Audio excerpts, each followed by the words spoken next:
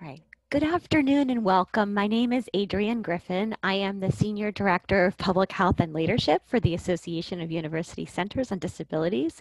It's my pleasure to welcome you today to a joint meeting of our Emergency Preparedness Special Interest Group and our Health and Disability Special Interest Group.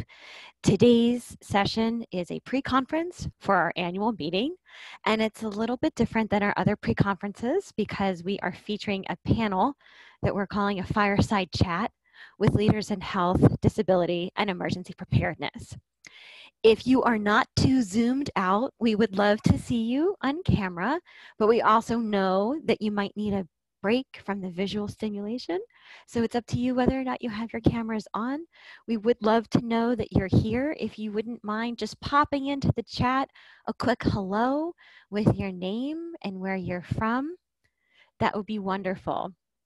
I'm just going to go over a couple logistics so that you're familiar with how the session will flow today. And I'm going to make sure folks are on mute. You can mute yourself. And so Katrina said and then then to maybe the D when it's okay. So you can you can please make sure folks are on mute. You may want to take a look at the chat. All right, I'm just looking to okay, see. Sorry about that. And that's just a reminder for everybody, make sure that you're on mute. Um, you do have, we will have question and answers at the end, so you will have the ability to mute and unmute yourself. So that is a good reminder. And that kicks off into my um, logistics. Uh, just really wanted to go over today how this session will flow. We have a number of wonderful panelists that I will introduce in just a few moments. Today's session is um, recorded so that if you would like to go back and view it later or share it with a colleague, you are definitely welcome to do so. Uh, we also want to make sure that uh, when you are participating um, that you are thinking about questions for the panelists. We'll have a dedicated question and answer time at the end, um, but feel free to use the chat function throughout to uh, pose a question that you may have so that we have a robust question and answer time at the end. And I apologize, I'm getting a little bit of an echo on my end. I don't know if that's from other speakers or am I still coming through okay? All right, thank you.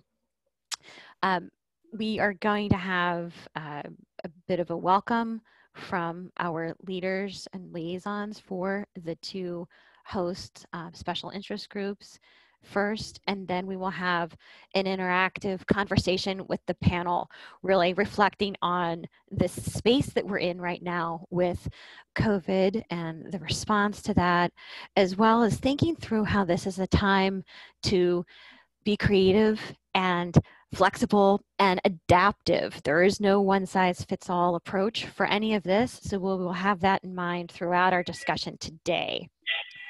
We have a wonderful roster of panelists that I'd like to introduce, and really I'm just going to give the quick highlights of the hats that you wear and um, not get into too many um, specifics on your bios uh, as those are um, on our main conference website um, and I want to preserve time for our, our uh, interactive discussions today. We're going to hear from Ilka Riddle, who's the chair of AUCD's Health and Disability Special Interest Group. She's also the associate professor at um, the University of Cincinnati and as the director of the UCEDD there. The UCEDD is the Center of Excellence in Developmental Disabilities, and that's housed at Cincinnati's Children's Hospital. So welcome, Ilka. We'll also hear from Laura Stough, who is the chair of AUCD's Emergency Preparedness Special Interest Group. Laura is a professor of educational psychology and the assistant director at that UCEDD the Center on Disability and Development at Texas A&M University. So welcome, Laura. We'll also hear from Justine Shorter, or Justice as she goes by. Uh, she is with she's a disaster protection advisor with the National Disability Rights Network. Welcome, Justice. It's great to have you back. I believe you were a panelist for us a couple years ago, so it's nice to have you again. And next we'll hear from Aaron. Um, is it? I'm sorry, Aaron Signorale. Is that at all correct? if you wanted to jump in and uh, correct me that would be fine. Um, and Erin is uh, an emergency preparedness specialist who sits in the Department of Public Health in Monroe County, which is in right Rochester, now, I think almost be um, irresponsible to. And I'm sorry, someone else needs to make um, sure that they're on mute. We, we really do need to. Thank you. You do have the ability to mute and unmute yourself because we are going to do questions and answers at the end. So thanks. Um, next up, we'll hear from Scott Greason, who is the Deputy Emergency Management Coordinator in the city of Richardson, which is in Texas, and he sits in their Office of Emergency Management. So welcome, Scott. And then wrapping up our panel will be uh, Vincent Siasoko, and Vincent wears a number of hats. He's the assistant professor in the Department of Family and Social Medicine and in the Department of Pediatrics at the Albert Einstein College of Medicine.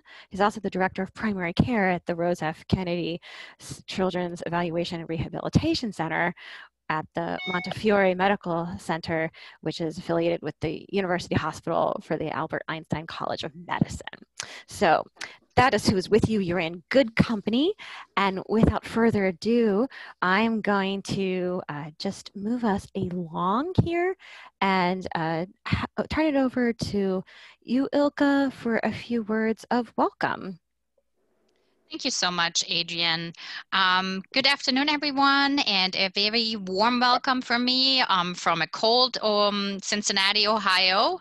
Um, we are really excited about this pre-conference session and um, we are also excited to partner with the emergency preparedness special interest group. Um, as Adrienne mentioned um, i have been the chair of the health and disability special interest group at aucd for a long time and we cover a very broad spectrum of health related issues um, at, in our special interest group. And so um, today we will really focus on health, healthcare in kind of like the um, kind of emergency preparedness, planning, um, response kind of um, uh, sector. And um, Yes, um, so welcome everyone. Um, we will have a what we call a fireside chat. Um, so um, Adrienne will ask us some questions that we will respond to. We will have a little discussion as a panel, and then certainly um, we will open it up for questions from you, and we want to hear from you about your ideas, your experiences, and certainly also your questions. Um, so with that, I would like to give it over to Laura Stough if she is able to talk at the moment. I know there was a little emergency. Um, so we'll see if Laura is on. Um, if not, I will um, give it back to Adrienne. Thanks so much, um, Ilka. Yes, it's so funny when you do research and presentations on, on emergency management and then you have an emergency right before you present. But um, I think we've, we've got it in, in hand now. So um, welcome everybody. And uh, again, I'm, I'm Laura Stough. I lead Project REDD Research and Education on Disability and Disaster here um, at our center at Texas A&M University. Um, and um, as Adrienne said, I also chair the Emergency Preparedness mm-hmm. SIG for um, AUCD. Um, in most states right now, um, emergency management is working hand in hand with public health in response to COVID-19. Um, in fact, um, in some states, including my own, um, emergency management, in fact, shares that status as lead agency for response to the pandemic. Um, so our emergency preparedness special interest group um, as part of AUCD is more important than ever. And we'd love for you to join us. Um, you can just look on the AUCD website under the issues tabs to uh, join our SIG um, uh, listserv. So I'm uh, very interested in hearing uh, more from, from our panelists today, and thank you all for joining us uh, this uh, afternoon or, or morning, depending where you are in your time zone. Great. Thanks, Laura. Appreciate you. And I uh, hope you stay safe where you are. All right. So next, we wanted to have a bit of a conversation with the panelists, really thinking about how this is a highly adaptive time, right? There is no one size fits all for anything we're dealing with now. Um, we asked each of the panelists to just share a short reflection on perhaps a good idea or a silver lining in all of this and um, share that um, as a way to kick us off. So it's a bit of a warm up to a, a deeper conversation. Um, and first up, I have um, Ilka. I actually have your slide up first for your reflections if you wanted to kick us off. Absolutely, I would be happy to, Adrienne. Um, hi, everyone. Um, as you can see, my slide has a little cartoon on it, and I will actually come back to this cartoon in a little while when we talk more about um, some kind of great ideas or different ideas that we have had. Um, so Adrienne had asked us to start out with thinking about like silver linings, and um, I think sometimes it's hard to think about silver linings when you're in the middle of a crisis or a pandemic and to see it as a silver lining. Um, but coming from a disability perspective, I think there are a few things I want to just highlight that I think have maybe helped us or can help us really in the future. Um, and so that is kind of like where I look at it in terms of a silver lining, fully understanding that right now it might not necessarily look that way. So one of the areas that I think we have made great improvements um, is in telehealth. I think um, the response from um, hospitals and um, healthcare providers uh, regarding on how can we still uh, provide good quality care um, to our patients without putting them at risk, I think um, is something that um, has moved very quickly. Um, we also had um, health insurance companies move on that very quickly in terms of coverage of telehealth services. So some things were possible that I don't know if they would have moved that quickly without this pandemic. And I think there are some definite benefits for people with disabilities in terms of having access to telehealth, which certainly isn't without challenges, but that's my silver lining, one of them. Um, I think the other one that I would say is awareness and focus a little bit more on, um, I think specifically adults with disabilities, especially adults living in um, congregate care setting and the challenges and the risks. So you know that as a network overall, we are very concerned always about people living in congregate setting because they come with some challenges. And we have clearly seen this with a pandemic, um, how quickly something can spread um, in congregate settings and that they may not be the best way to keep people healthy. And so having that spotlight on that um, would be the silver lining, most certainly not that people get sick or that people die um, in those um, settings.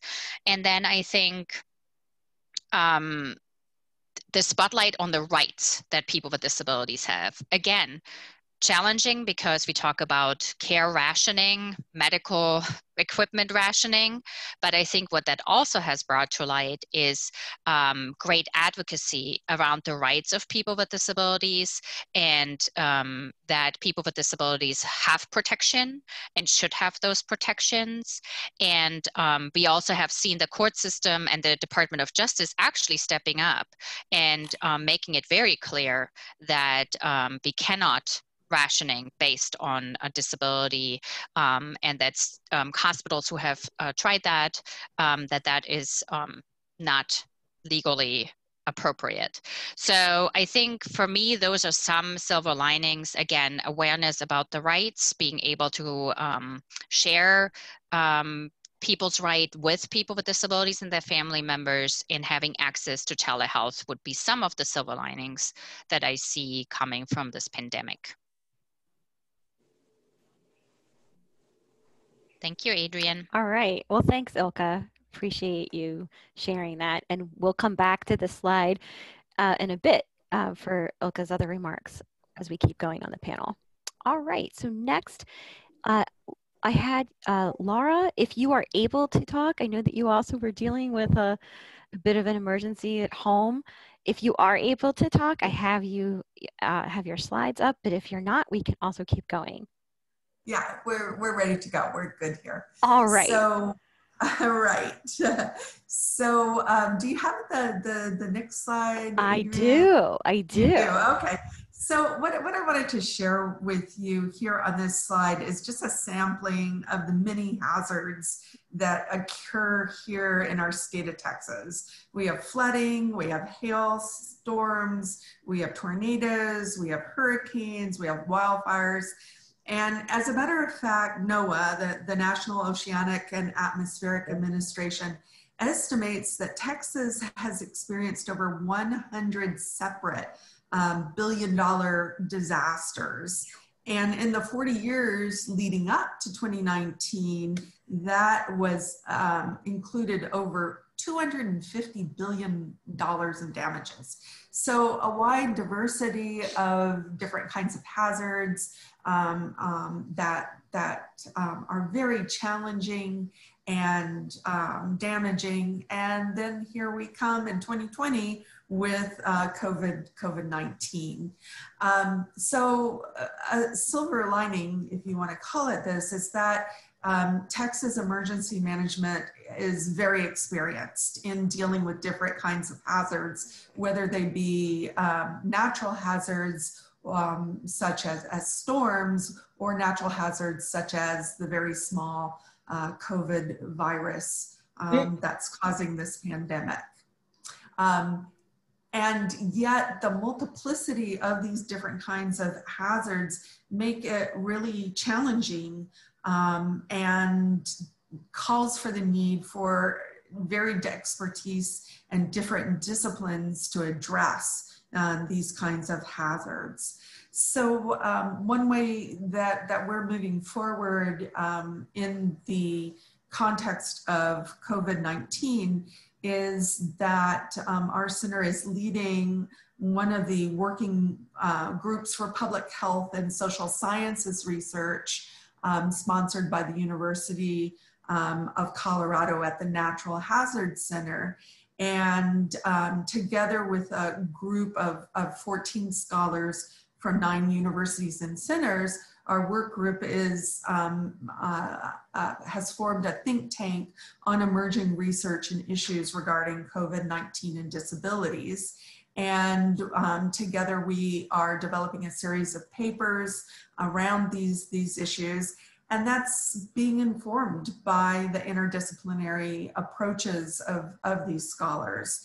And so we see great promise in continuing our work together over the next year um, in taking this kind of interdisciplinary approach to a, addressing this, this very sticky problem of COVID-19.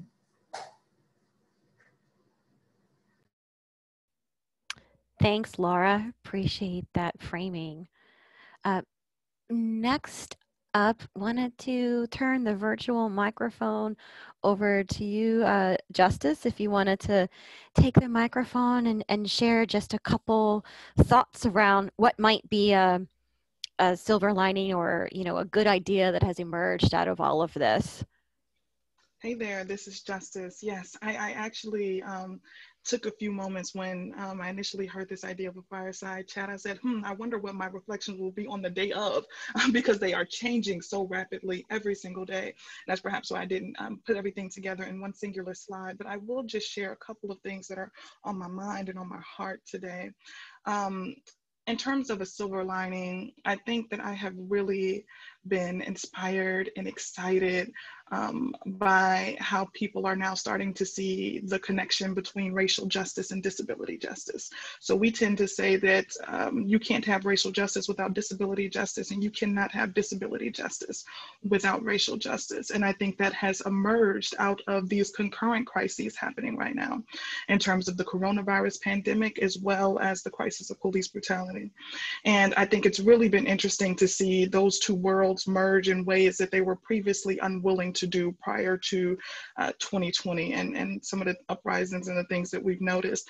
I want to acknowledge that people are now absorbing how disability justice really picks up where disability rights leaves off. And so um, these two uh, phrases are typically used interchangeably and they're, they're not the same.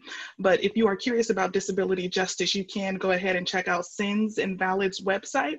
They have a framework that they've coined around disability justice, which includes 10 principles that they've created. Um, and that is really the baseline that many of us who do disability justice work and even folks who do disability rights work um, has come or have come to reference uh, in terms of, of how to really guide and shape the work that's being done. Among those 10 principles though is that is a central principle called uh, leadership by the most impacted. It's principle number two. And I think about that when I consider what has been done by way of emergency management and how people have managed to save themselves and care for their communities and their families throughout um, this year and also throughout, you know, decades and, and, and throughout our history uh, more collectively. But I think about mutual aid um, systems and practices that have been put in place, right? Communities just caring for one another, putting together uh, grocery drop-offs, just filling in the gaps um, that have not been met by other programs and services and how those have really been absolutely central to the survival um, of individuals with disabilities when I think about um, different ways to solve the problem, of course, I think about you know mutual aid. I think about additional funding being funneled to the people who are actually doing the work on the ground, and that, of course, being inclusive and centering um, people with disabilities and uh, organizations who center individuals with disabilities and those folks who are out there doing this work on the ground. Um, but I also think about um, a couple of other silver linings. Uh, the first speaker, I'm very, very thrilled to, to hear that she mentioned um, some of those legal remedies that took place, right? So I think about a lot of the legal action that was taken by the Protection and Advocacy Network. Um, many of those victories, a lot of the, the shifts in tone and in language that we see coming out of the Department of Health, um, and also a lot of state specific departments of health um, have come by way of complaints that have been filed by not only protection and advocacy agencies, but also many other uh, partner organizations who have been a part of that process. And I want to emphasize that because it really focuses on the sheer importance of collaboration um, and working together with one another uh, to kind of bring forth some substantive change. So that happened in terms of the crisis standards of care. You also see it um, happening uh, now um, in terms of distribution plans and how those are starting to unfold. And as we think about those, I'm thinking about people with disabilities who are in all forms of congregate care, congregate care, or who are in carceral uh, setting. So I'm not just thinking about um, people in nursing homes, but I'm also thinking about the folks who are in uh, group homes, both licensed and unlicensed. I'm thinking about folks in psychiatric facilities. What does this mean for youth detention centers, jails, prisons? Um, are we having those conversations because people with disabilities and kids and young people with disabilities are in all of those settings as well. So it's not about changing your lanes. This is the things that I, I commonly say. It's not about changing your lane. It is about widening your lane. You have a competency, you have an expertise, you have a history or a skill set and disability. Can we um, observe and absorb and practice that in, in all ways, especially as it relates to the multiple uh, communities or identities that people with disabilities live within? So I'm really curious um, to think about that. So I think about it in terms of civil unrest, and that was a concern a couple of weeks ago. Um, it may still or may not be that concern, but I, it, the purpose of preparedness is to simply put things in place so that you um, kind of have a framework for how you can think about how uh, particular populations will be impacted. So we were thinking about that. And I was also thinking about how will folks who are transgender be impacted because there are transgender folks with disabilities who are impacted by um, disasters and crises in this pandemic. What does that mean for vaccine distribution plans that, you know, if there's ID requirements, will people who are transgender with disabilities have to deal with with more stringent practices that make it difficult or challenge their uh, capacity to participate in, in certain emergency programs. Uh, I'm reading up and having conversations with Black liberation movements um, um, and trying to figure out what the course of action is there um, because there are Black people with disabilities. I want to know about undocumented folks because there are undocumented folks with disabilities and I want to know what that means in relation to, to the work that I'm doing. Obviously, we should care about these community irrespective of, of whether whether or not, um, you know, the, the disability does not have to be the primary necessity as to whether or not we care about these communities, surely. And I can say that as someone who identifies as a Black, blind, lesbian woman, I deeply care about these communities. Um, but in terms of me going back to what I said before about you not entirely switching your lane and feeling like you have to be an expert in immigration or you have to be an expert in, in, in Black issues, um, you can, however, um, share uh, your expertise and your knowledge related to disability if that is a particular competency that you have and you can understand it through the prism of all of these other groups and have that strengthen your advocacy and strengthen the work that you do. I'm going to stop there, Adrienne, and toss it back over to you. Thanks, Justice. Appreciate that. I want to come back to you later and ask uh, thoughts around how do you widen that lane? yeah, and I see that Brian uh, Russell from Florida chimed in and said widening the lane is vital to our success. So that point resonates with others too. Thanks, Justice, for being here. Um, next up, would love to turn the virtual podium over to you, Aaron. And I know you had a, a summary slide on what might be a, a silver lining or positive in all of this. So I'll turn it over to you. Yes, thank you very much, Adrienne. So uh, I work in emergency preparedness for Monroe County Public Health, and I have a program that is called Accessible Preparedness. It's the whole uh, motto of it is that it's not a one size fits all approach to preparedness. And I was lucky enough that uh, the silver lining is we kind of completed a lot of the first year, year and a half of this program and reached out to a lot of people with disabilities in different situations and different uh, economic groups, different races, different everything across the board because it's not a one size fits all approach. And and we brought them in to do pre- emergency preparedness training through a six session course and this was right before COVID. We we did this, you know, for the uh, half the year in 2018, half the year of 2019, and then towards the end of 2019, we finished up that first cycle, and I started doing interviews and videos with some of the students in the class a few months later, asking them how they've integrated that training into their lives, and some of them you know, hey, th- this is really honest. They said, you know what, I, I took the class, I thought about it, but I actually didn't do anything yet. And I just, I haven't actually, you know, started preparing for having extra food or having extra supplies or medications.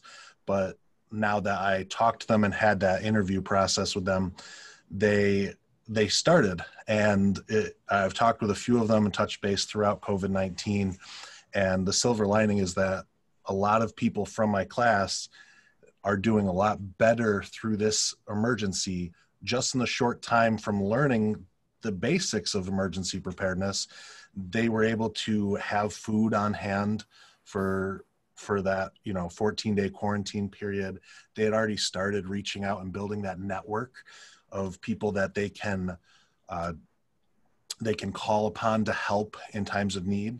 So they already had when when people started to contact trace with them, they're like, "Yep, I have these three people that can get me food, uh, everything I need." I already talked with my doctor six months ago to see if if I could get an extra week advance on some of my medications, and some of them I know that's one of the really hard topics, but some of them were actually able to get the doctor to buy into that and say, okay, you can have up to you know six or seven days worth of kind of like an emergency supply of your medication. So, in case there's a backlog in being able to get you med- medication, COVID 19 really, really inundated all the logistics aspects of getting people medical supplies, uh, obviously, like food and everything, even just trying to get your Amazon gifts or whatever you're getting, all of that was slowed down.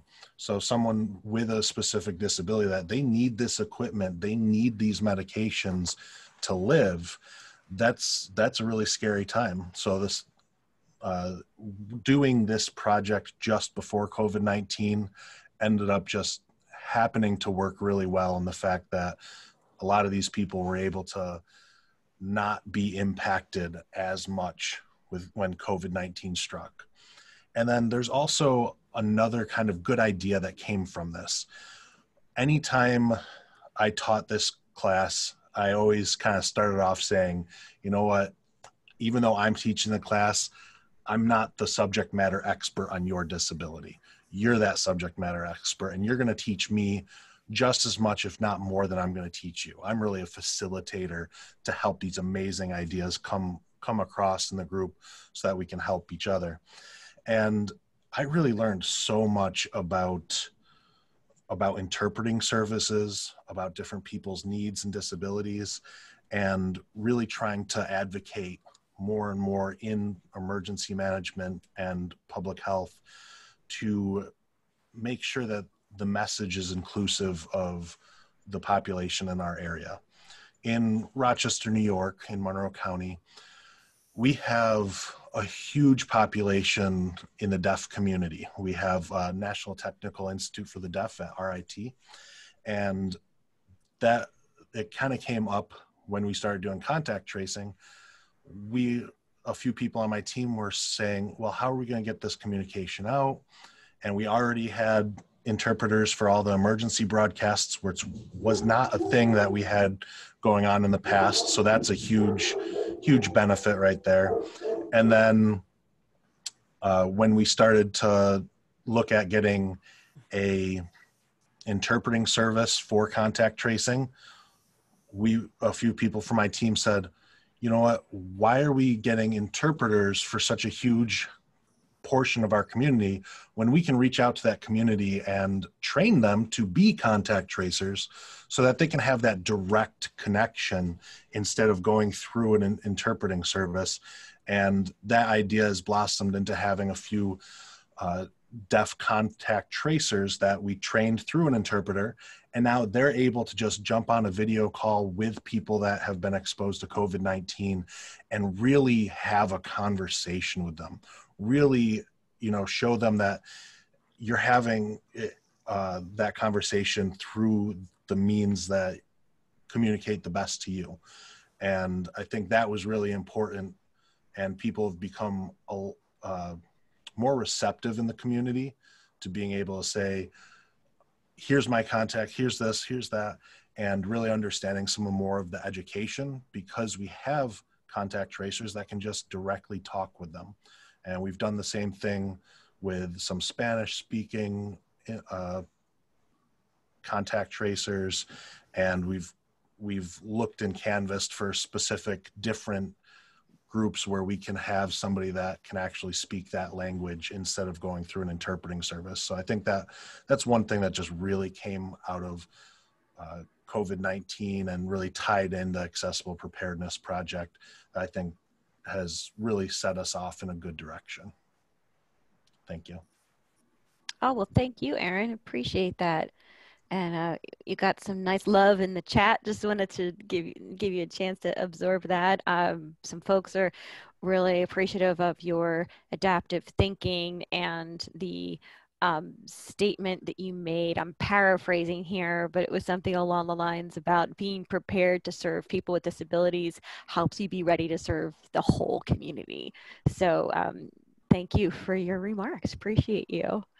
And we'll hear from you in just a little bit in a deeper way. All right, next, I uh, want to turn the virtual podium over to you, Scott, to share your thoughts on uh, what might be a positive or a silver lining in all of this it's such a such a hard thing to say silver lining in such a tragedy but with all particular disasters we're able to get some valuable lessons learned um, items that we had in place we you know in richardson we're a small jurisdiction probably a population of about 150000 but we have a unique location within texas that our surrounding areas are very heavy populated uh, with the city of dallas and other cities with population of 100000 um, some of our things that we we were wanted to, we were always curious about, right? You can collaborate more than anything. We had preparedness um, out there. We, we always hang our hat on the preparedness and we call it empowerment. We want to empower people.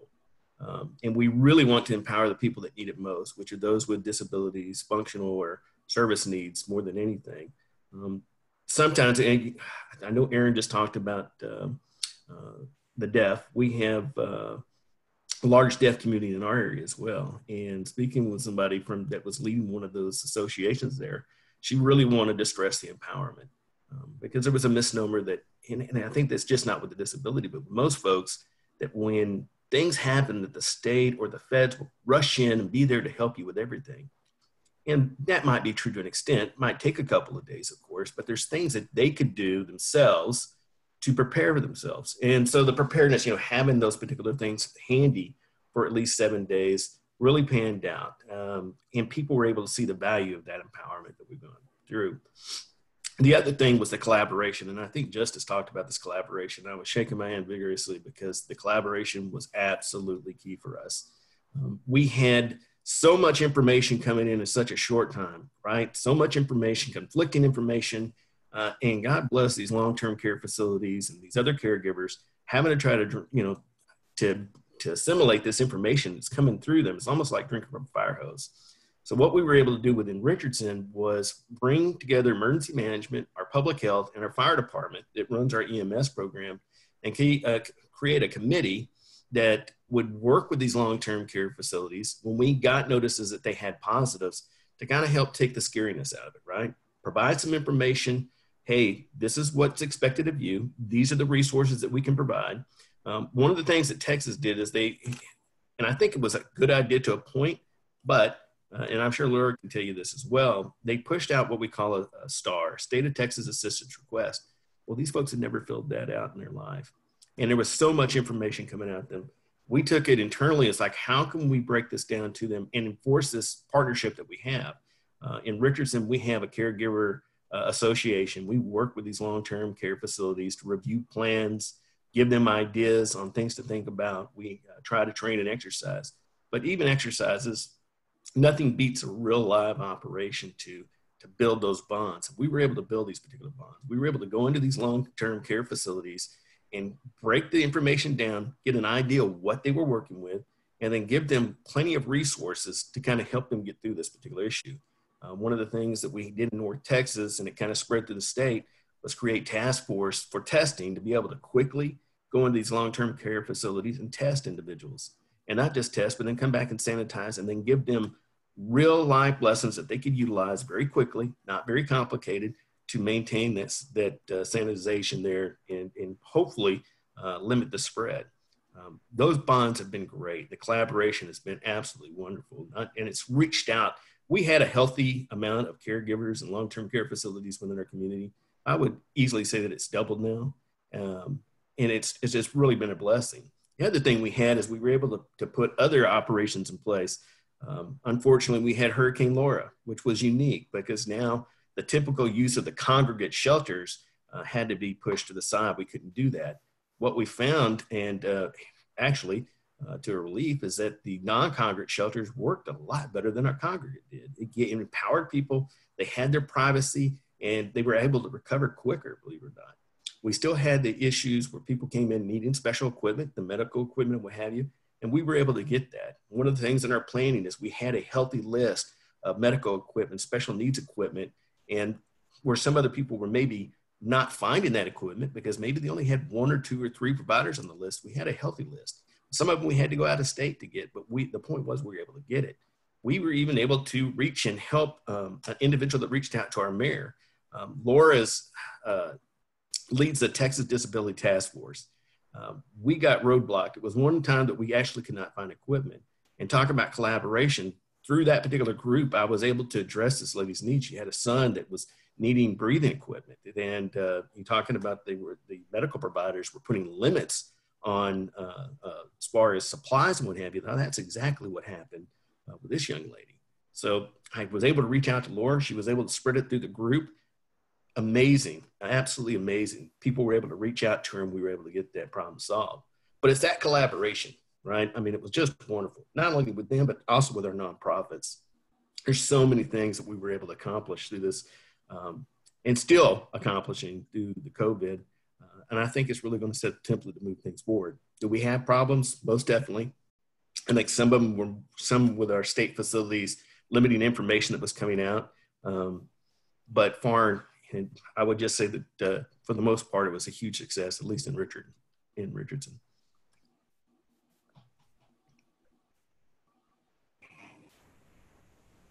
Great. Well, thanks, Scott. Appreciate you, you, sharing those remarks and reflections with us.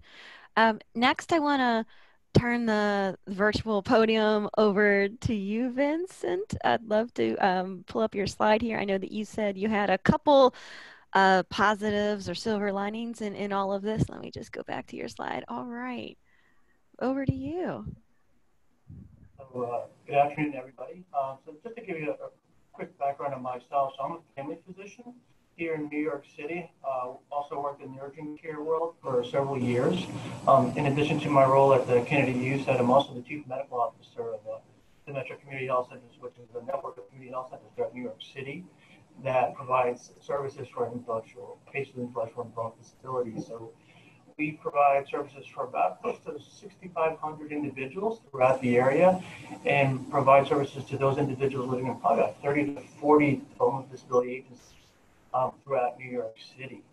Um, on a larger scale, um, throughout New York State, I'm sure Aaron knows this, um, you know, we talked about previous uh, speakers about coalitions and collaborations. I mean, that, that is just so key. Here in New York, um, across New York State, there are about seven major development disability uh, coalitions. Um, they provide services to close to 250,000 individuals across New York State. Uh, they represent about 300 plus different disability agencies from, from the Bronx to Niagara Falls to Buffalo. Um, the New York Disability Advocates, you can see the, the logo there, is their advocacy arm. Um, so I think some of the silver linings in, in you know, talking from uh, the Bronx in New York City, we were the epicenter of the epicenter. We uh, we were the ones really hit the hardest and the quickest, and uh, it was overwhelming for sure. But what was really wonderful were the coalitions, um, because we were all there for support. Um, um, interagency council, cerebral palsy uh, associations. That's just one of the uh, two of the seven.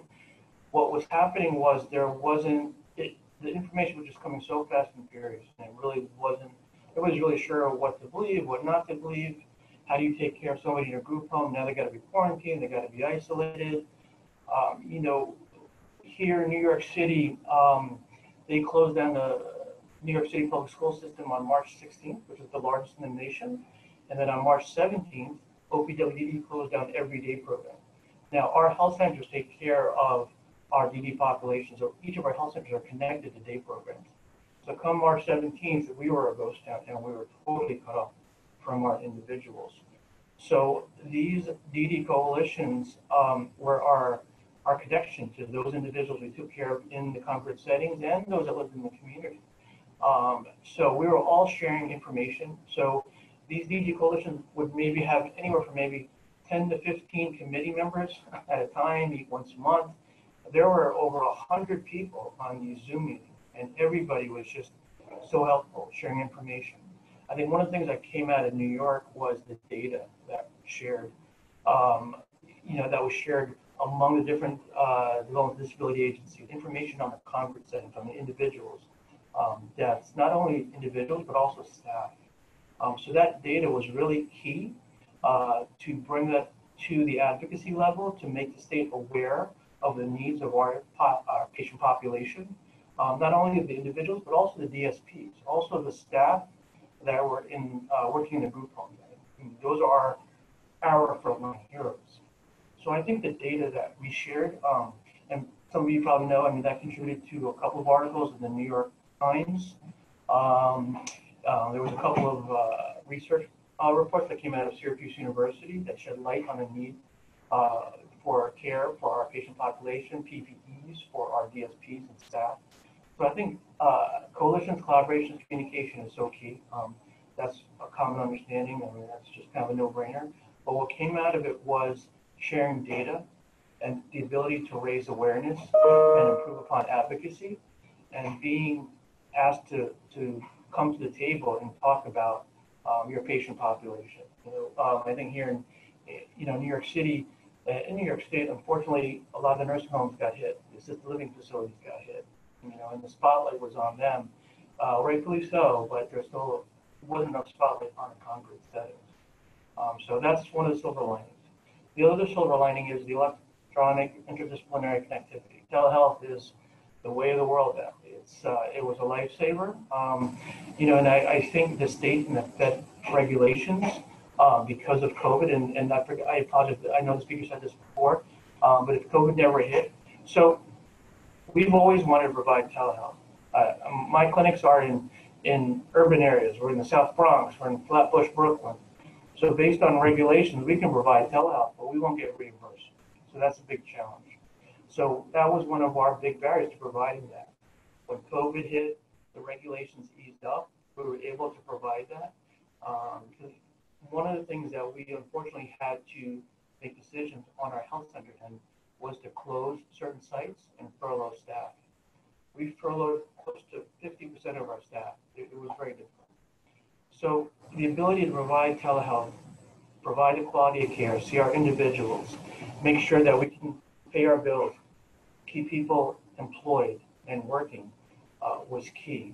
Uh, so yeah, telehealth, you know, it, it, was a real godsend. It, it's not the be all end all. Um, I think one of the challenges, of course, is, you know, what can you do with telehealth and what can you do on site? telehealth shouldn't take the place of a, of a face-to-face visit in some situations. Um, so I think that's a learning process that's going to be for all providers. Um, but I think telehealth is just uh, was just a real uh, blessing. So I think was a silver lining, especially especially when we talk about behavioral health issues and mental health issues that came out of it.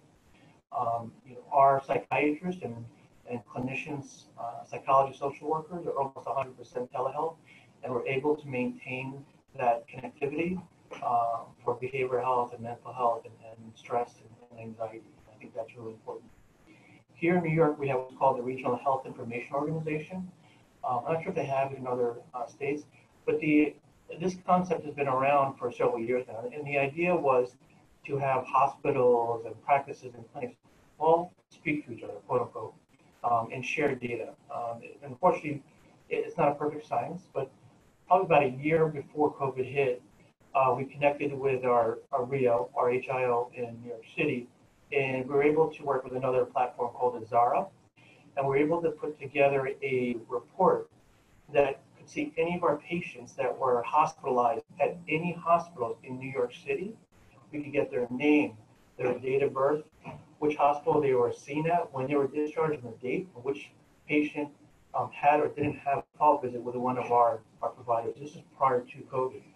This was so crucial when COVID hit because, again, we were cut off. However, we were able to utilize this report because we were it was still running. So uh, my office is based in the Bronx, so we were all bunkered down in the South Bronx. But through this RHIO Regional Health Information Organization and this weekly report, we were able to see, okay, we have two patients from a group home on Staten Island that just get discharged. Let's get set up for a telehealth visit. Somebody just got hospitalized a month before they got discharged. Let's set up another telehealth health visit. So I think the silver lining with electronic interdisciplinary connectivity uh, was uh, was definitely a silver uh, lining and uh, a great blessing for patients and, and for us to make sure that we can continue providing care um, as physicians and clinicians. Thank you. Oh, well, thank you, Vincent. I really appreciate it. Your um, points around connectivity for um, staying in touch with um, those who have co-occurring conditions and dealing with all of the pieces of telehealth around that and echoing the points around coalitions and connectivity in that way too. Thank you. And um, that was a great way to um, wrap up that first chunk of conversation with the panel. But that was really just a little bit of a warm up.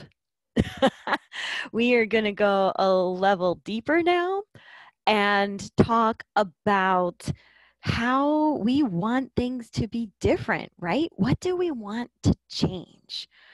Uh, how you know how can we be creative and problem problem solving and addressing these challenges that we've all just mentioned um, so i'm going to throw that question out to the panel and um, i know uh, a couple of you had some specific thoughts around that um, I want to just circle back to, to you, Ilka, to see if you want to kick us off. And I know that you wanted to uh, perhaps use your other slide. So I will, I'll circle back to that if you wanted to kick us off. Sure.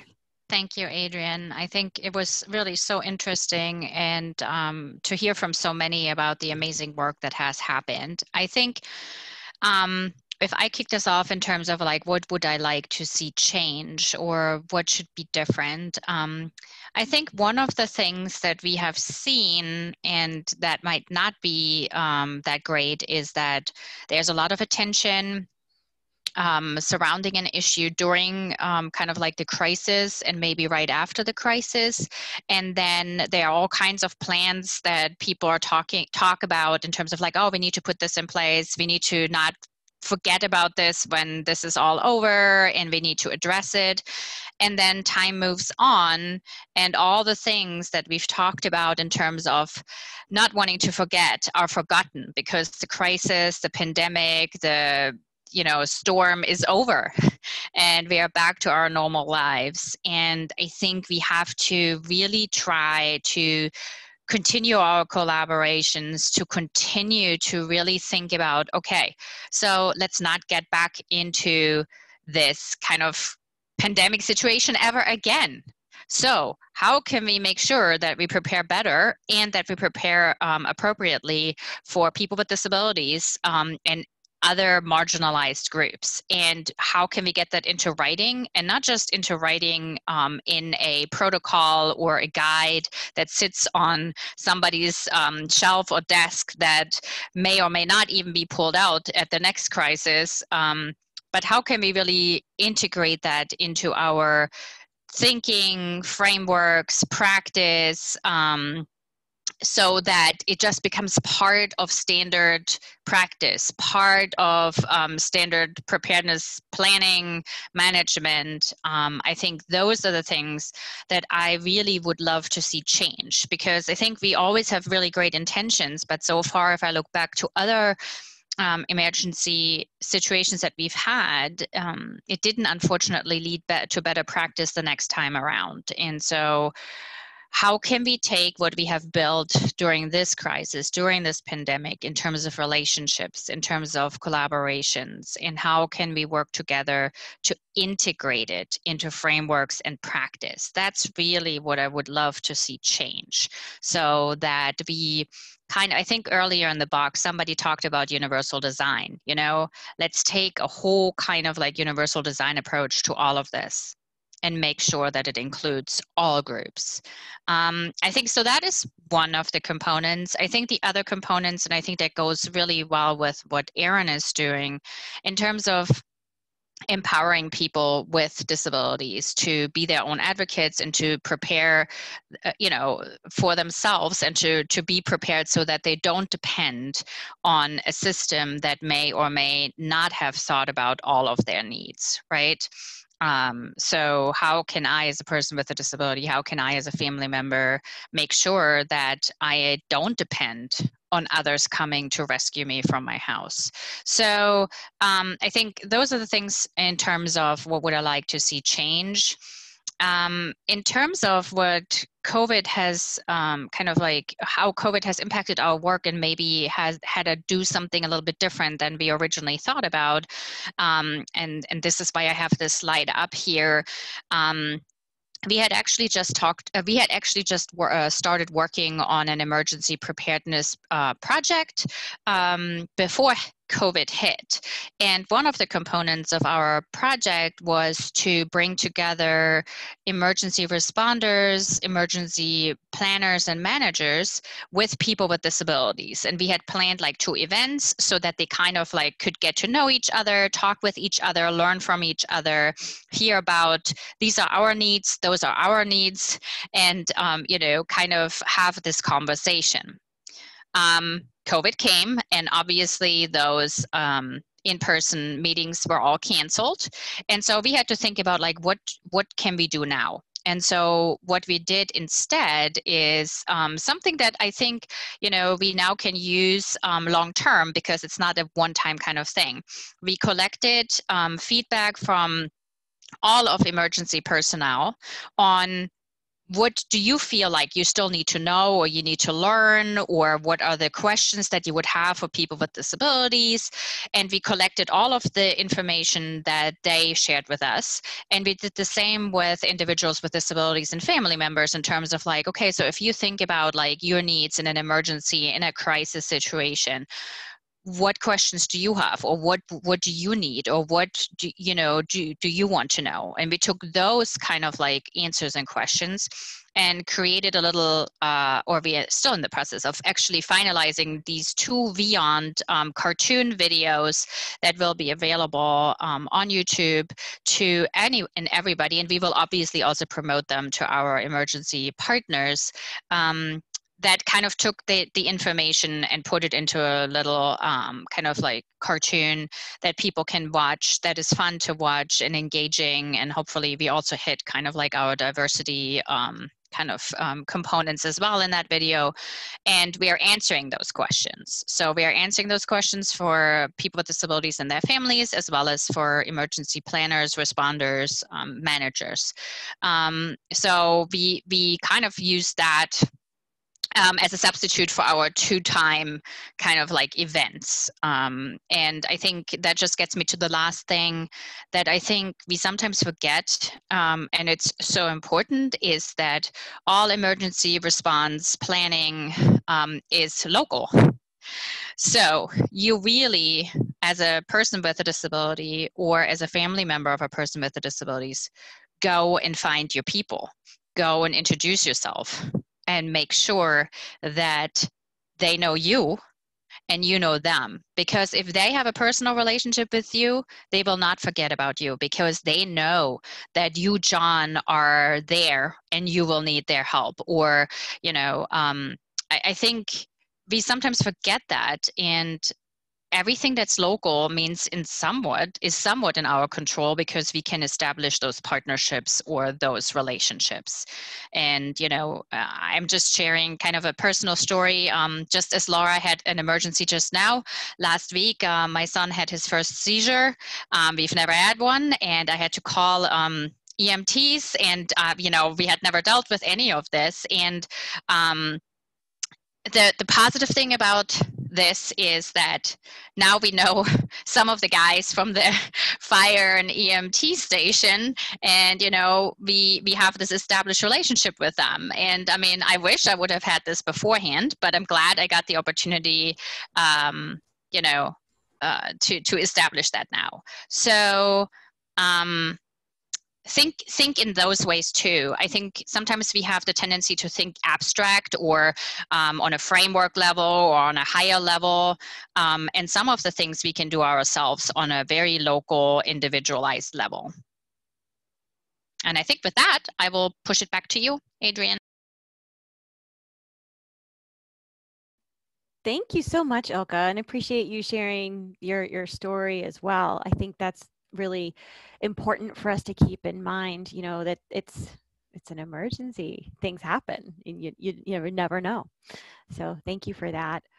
Um, next, I would like to use the moderator prerogative here and uh, move up to uh, Justice to share remarks because I know that you had um, to jump off a little bit early and I just want to make sure that you have, I'm going to flip back to uh, the general slide here.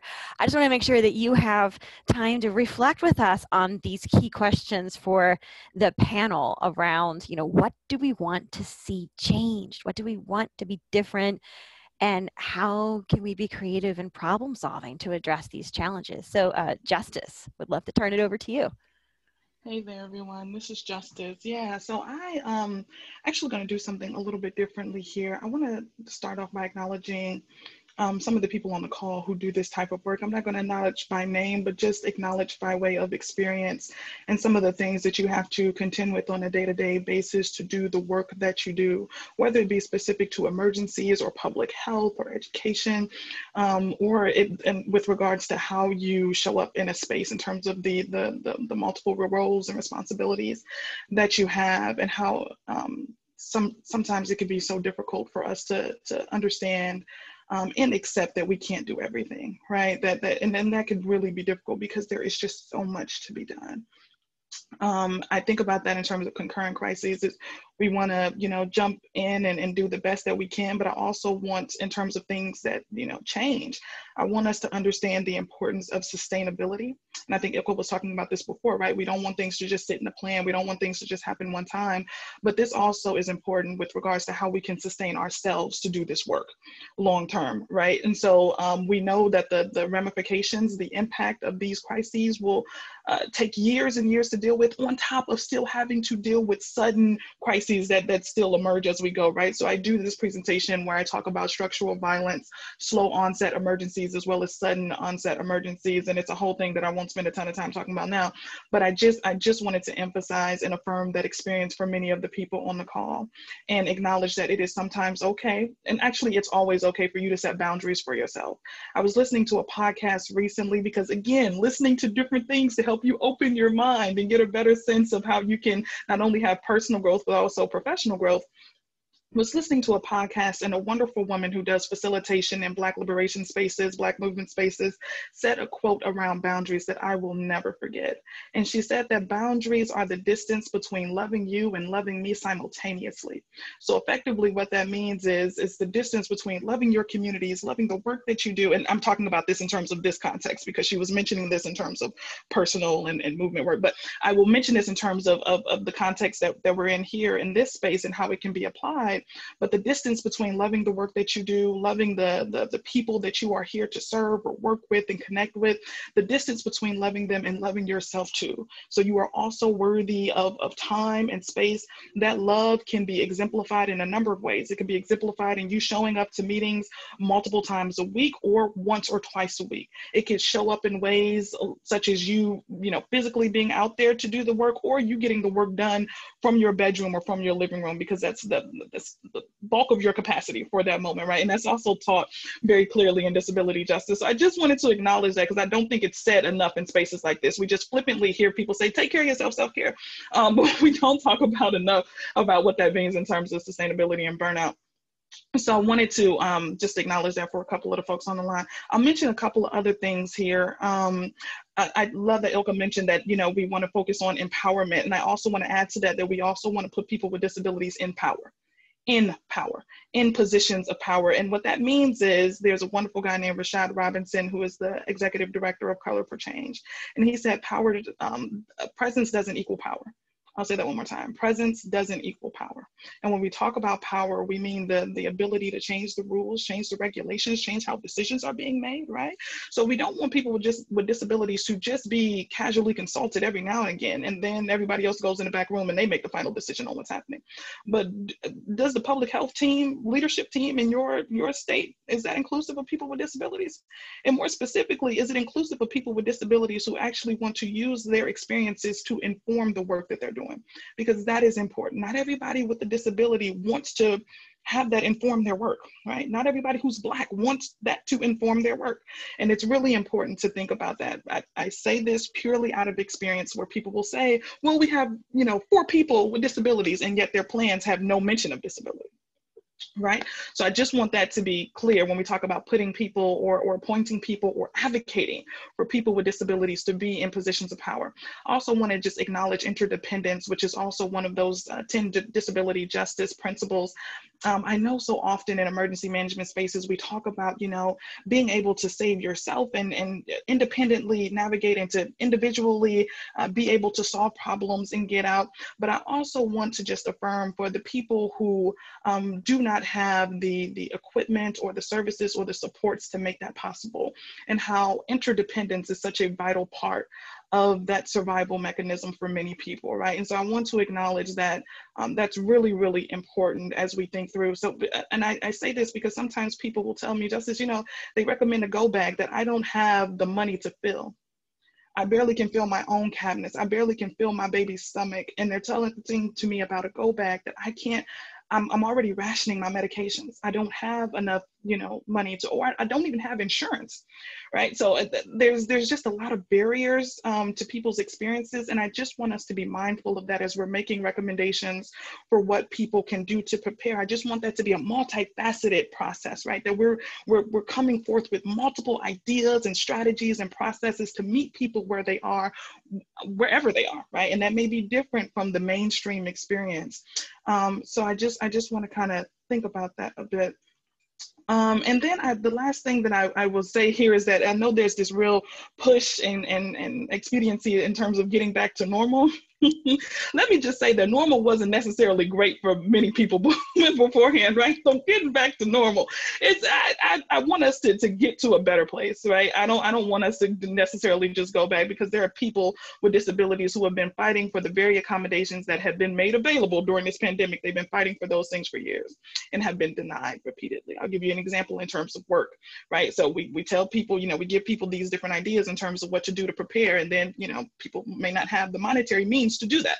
So you're, you're talking about people working and some people um, are, are overqualified, underemployed, but who have been trying to get certain work accommodations for years and have been denied. The very same accommodations that are now being made widely available, right? The ability to work remotely. I'm working remotely as we speak, right? Um, uh, the, the ability to, to shift and flex your, your work hours, things of that nature. All of that is just really important. So we hope, or I hope that those accommodations continue um, throughout. And I also hope that people continue to, to um, collaborate in terms of the network um, work that's that's that's being done, and I can specifically speak to NDRN. The way that that we were able to, and the network in general, the Protection and Advocacy Network, was able to um, have such a rapid and robust response is because legal directors were talking to each other, CEOs were talking to each other. They were sharing uh, some of the, the, the the language that they were using to to get these complaints going. Um, no personally identifiable information, of course, but just sharing. Hey, we chose this strategy. We tried this method that seemed to work very really good in that state. We didn't even have to file file a complaint because we said this and they immediately saw what we were planning to do and they, they got in, you know, they chose, chose to change the course of action and they recognize how uh, disastrous uh, of an impact this would have on people with disabilities. So there was the sharing of that information. Um, also uh, certain strategies such as, you know, getting web pages up and, and having additional means of, of, of folks contacting and filtering in information to the P&A, right? So not just um, social media that was really heavy, but then also having, you know, email addresses being posted because not everybody, you know, has the, the bandwidth to fill out very long, complicated forms or has the ability to call in and talk extensively um, for a, a full-blown intake process, but perhaps providing that information via email, a text number, um, but just additional ways for people to be in community and to be in conversation and to inquire about help and assistance. So I will mention all of those things and I will stop there. I can go on for this for hours and quite literally I do when I'm doing presentations, but I'm forcing myself to stop. Um, I will say this, I do have to jump off in just a few moments here, but I will say if anybody has any additional questions, Adrienne has my my contact information. Be more than happy to continue the conversation. Adrienne, I'm not sure if you guys are tweeting or anything like that, but if, if you guys want to continue the conversation that way, but maybe some folks on the call who are social media buffs, I am not, but I try. I'm up on Twitter at Justice Shorter One. Thanks so much, everyone. Oh, thank you, Justice. That was great.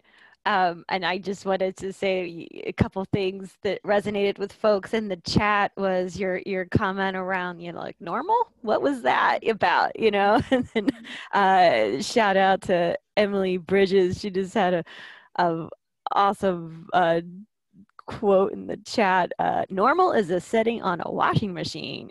And i don't think anybody wants to be that. So it resonated with folks here. Thank you justice for being here. And yeah whenever you need to head out. Uh, we, yeah, we get it. for a few more in case but, there's questions. Um, yeah, I'll, thanks. I'll just, I'll pop off. Linger as long as you can. and thank you, thank you, thank you. All right. So um, next, I'd love to invite um, Aaron to the the virtual podium to talk through what you know what do we want to change and you know what are some thoughts around how it happens and um, how we might uh, be creative in, in problem solving and addressing these challenges. Yes, definitely. Just like Justice said, I could probably talk about this forever. so I'll try to keep it short. But so, what do we want to change? Uh, some of the main things that pop up to me are just you know more inclusion in that training exercise and response area you can't you can't really train exercise or respond to the whole community unless you invite the whole community to the table so I think a lot of times in emergency management, emergency preparedness, public health, whatever government agency it is, or public agency, it really doesn't matter, uh, or private agency. I think a lot of times we try to think, okay, well, how do we hit the ADA guidelines here? Or how do we include this set of the population? And there's a bunch of people around the table, you know, maybe discussing this very briefly on what they think. But you don't have an actual advocate there to say, this is what it's really like. You know, I, I could sit here and, and tell you what uh, what being in a wheelchair is like and how hard it is to travel and to get into places and what the ADA guidelines say that you know setting up a shelter or stanchions how much space you need. But actually talking to my friend who's in a wheelchair she just blows my mind with all the things that I would have never thought of. And that's what we need at the table. And uh, I love the whole presence does not equal power. That that's an amazing quote. I'll definitely be using that justice for a while. Just because we invite them to the table doesn't mean that that we're giving them the power to do anything. So what we need to do is not not just invite them to the table but put them in charge of these decisions give them that authority give them a clear guidance of okay we want you not just to you know check a box saying we had you here and we included some of your ideas. We want you to work this issue with us. We want you to reach out to the community to help get this on board.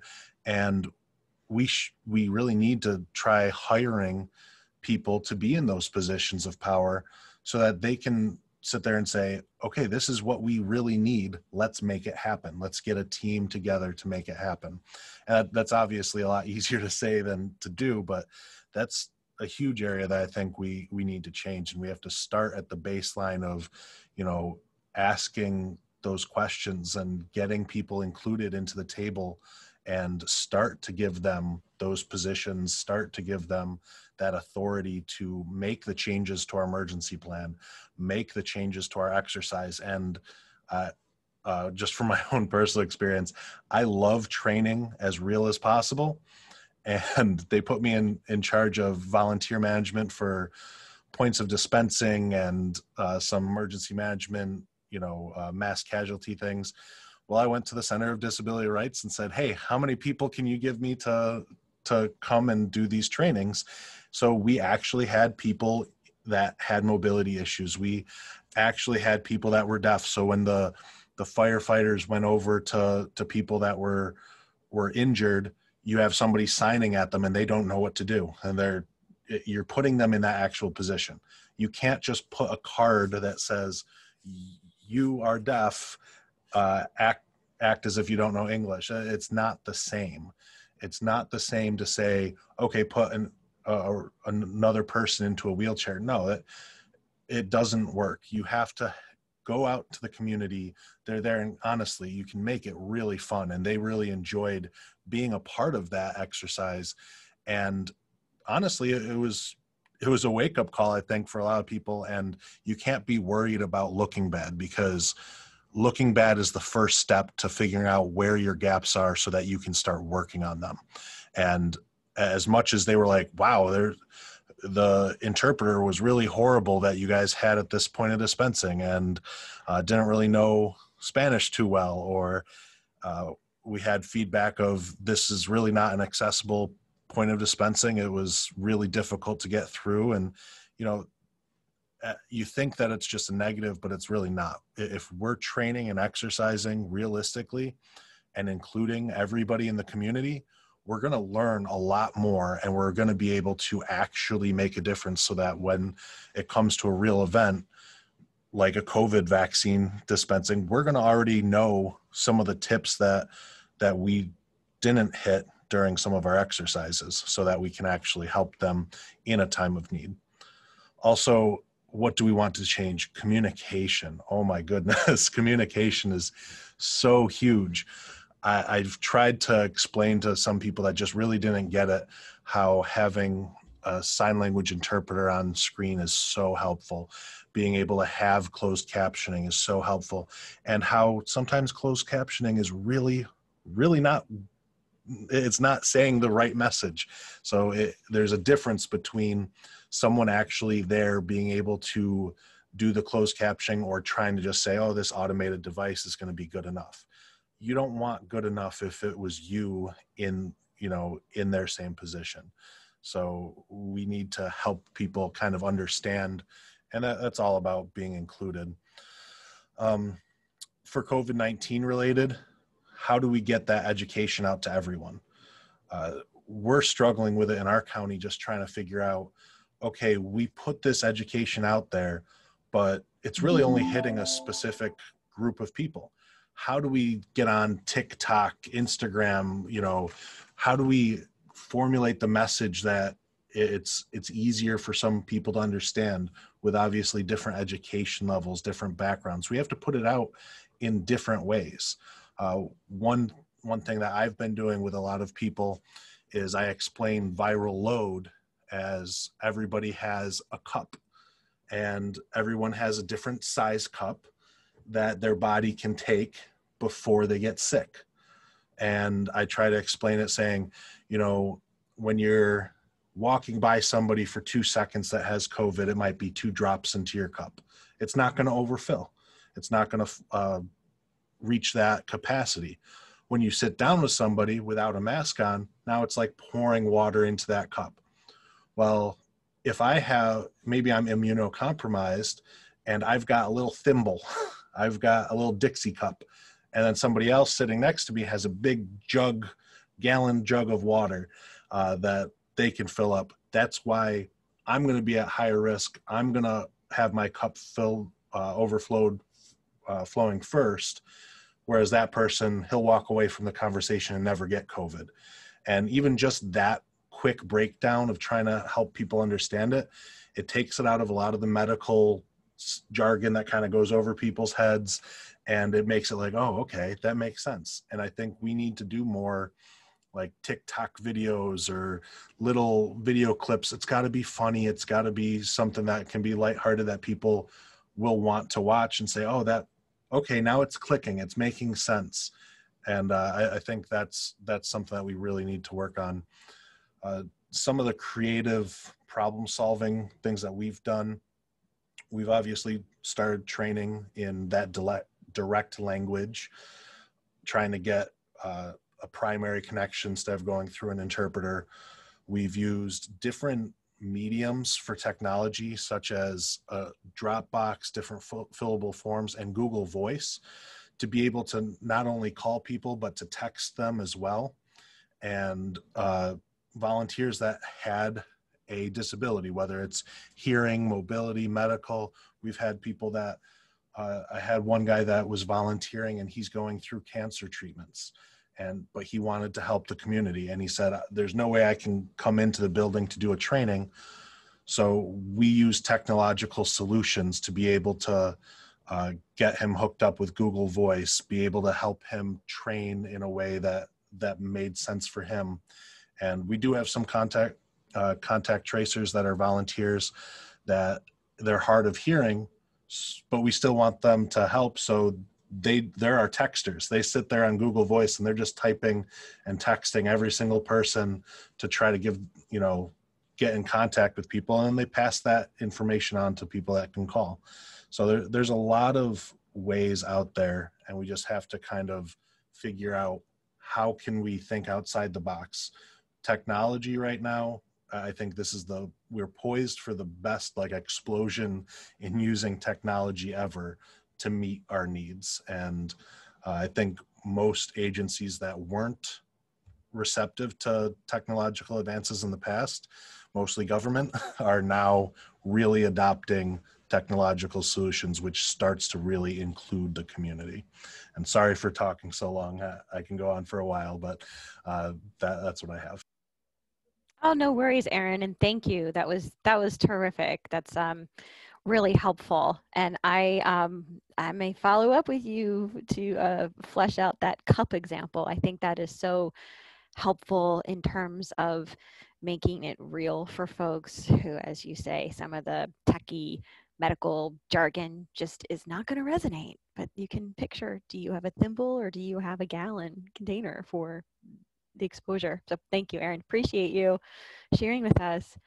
Um, next up, I would like to invite Scott to the virtual podium here to share your thoughts on what needs to change, how can we get creative and problem solving to address these challenges? Well, Aaron's pretty much stole the thunder there. I mean, everything on it's good that EMs kind of think alike on this thing. I, I, I feel so empowered to, to have like-minded people here. It's, it's just absolutely wonderful. Communication is the key and not just for COVID, but for anything. I think sometimes we limit the way we deliver messages out to the public, uh, maybe using one, two, maybe three different methods, but it's got to be a multifaceted approach. I think Aaron kind of hit on this great we need to use every tool in the toolbox. I mean, we have the, you know, the standard uh, flathead screwdriver, pair of pliers, and a hammer, but you know, that's only going to be good enough for some people, not for others. Um, in this particular event, we need to find out what's worked, and there's still a lot of people that we haven't reached. So we talked about earlier about widening that panel. What, how do we reach these particular folks? Well, I think there's several ways. Again, look at what we've used and try to see well, how they're uh, what other mediums we might be able to get. Maybe it's through the associations, maybe through its chat groups. I'm not sure, but we really need to have a, a, a good look at that. Um, Ilka made some great points too. She was, uh, I saw it standing up and jumping down because she she knocked it out of the park well. Uh, we really need to engage the community more. I mean, uh, we we do a decent job, but it's you know even a good operation can always be improved upon and we got to be honest. I've been in so many after actions where people just aren't honest with what's happened. Um, Aaron knows this. He's been in the EM, and others that have been in emergency management know this more than any of us. People hate to say that we made a mistake, but it's okay. You know, we don't want to bring people in because we don't want to expose that, hey, we don't know. But then we don't want to bring the people in that could give us the answers. It's like it's just absolutely craziness here. Um, talking about building trust and that establishment, we've been able to do that with our long-term community, our long-term care facilities. And like I said, you know, our participation with them is almost doubled because they can trust us now. They know that we're there for their benefit. We're not there to report them or, you know, uh, highlight their particular mistakes. It's like how as we as a group can get through this together. Your success is my success, your mistakes are my mistakes, et cetera, et cetera. We need to, uh, you know, continue with our empowerment, but again, we need to broaden the way that we deliver those messages. I think Justice made some great points. There are a lot of people. I remember when I was in Dallas County, I would go to the, some of the poorer sections of the, of the county. Uh, these people didn't have the money to put these things together. So what can we do? There's plenty of grant money out there. We just have to dig a little bit. Um, Ilka also made a great point that we identify this. Remember, uh, one of my mentors used to say, I had a joke about turkeys and eagles, and, and basically eagles taught the turkeys, you know, how to fly, and everybody thought it was great, and then everybody walked home. Well, it's exactly what we do here is that we, you know, we talk about this thing. It sounds really great, but we never enact it. You know, we have to identify what the issue is, identify the solution. We can't waste time. Put a date on there. Who's going to be responsible for it and document it and make sure that everybody can follow up with it. If we do that, we'll be more progressive. In EM, we have the worst ability to either table it or put it onto a committee that sits there for a year and nothing ever happens until an event happens again. And then we see the same issues repeating itself so it's the definition of insanity. So I think there's a lot of good input. There's, I think there's a lot of things that we can do as a group out there. We just need to address them, be honest about it, and really try to find other ways. We've been really good about engaging some people, but there are still people out there that need to be brought into the fold. How do we do that? I don't know exactly. If somebody has some ideas, look, I have no ego. Please give them to me. I will take whatever I can. That's all I got, Adrienne. Oh, well, thanks, Scott. I appreciate that. And I just wanted to also reflect on a connection that I see between what you just said about being honest and what um, Justice said earlier around um, you know, like loving yourself, loving the community, being passionate about the work, but also like setting some positive boundaries. I think that being honest in the after action report is important, but it's also important to be honest with yourself. And um, I think you really wanted saying earlier, drinking from the fire hose, you know, like the information overload. That is an analogy that I have also um, used in other uh, presentations over the last few months. And you, you um, need to take care of yourself because these uh, issues and these emergencies are the the emergency du jour, right? It's it's what's going on right now. There's going to be other things, and we need to be here to address that and serve the communities we serve. So, right on. Thank you, Scott. Appreciate you. All right, next I'd like to turn the virtual podium over to you, Vincent, to share your thoughts on what needs to change, thoughts on ways we can be creative in problem solving and addressing challenges. So thank you for allowing me to follow all these wonderful speakers. it's not too much pressure. Um, you know, I, I, just think these are just great ideas and just insights. Um, you know, I guess, um, you know, on my end, you know, what do we want to change? just to have more proactive engagement. You know, again, speaking from my end of the world, you know, I see a lot of these, um, you know, after the fact, uh, New York City Department of Health committees and hospital committees. Now they want to get uh, the IDD input. They want to see what could we have done better, what should we do moving forward. And it's interesting because you know they'll invite the docs and, the administrators and what have you, um, but I don't see any individual advocates. You know, I, I don't see anybody representing their own self, um, uh, you know, or being invited to the table. So I think uh, engagement is very important.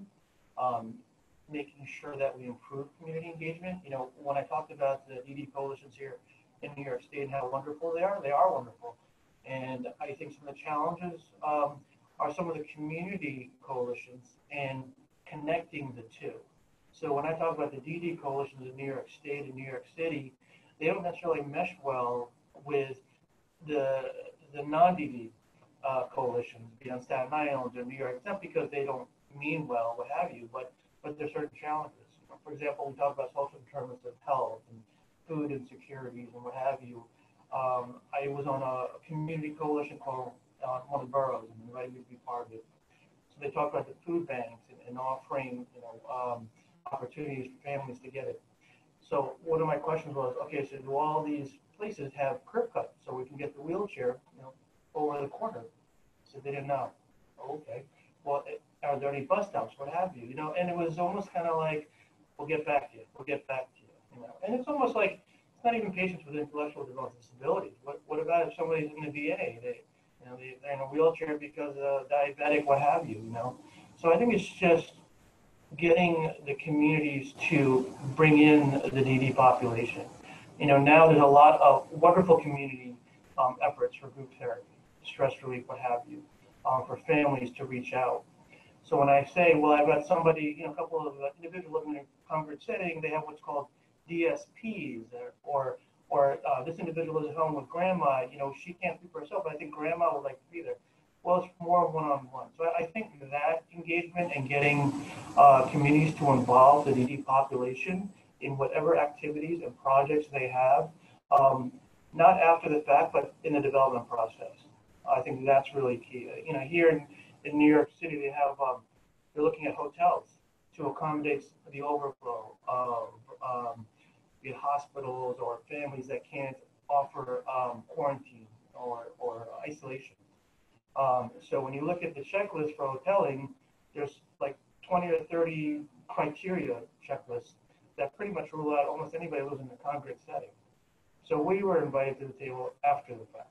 You know, so it's those things, being proactive about uh, getting more engaged, um, talking about what can we do. And I know Adrienne and, and some other people on this call, you know, the, the high level education and, and, training everybody and, and making everybody aware is all really wonderful and it's so important. Um, but when you kind of drill down, you know, here in, here in New York City, uh, Health and Hospital Corporation has been great.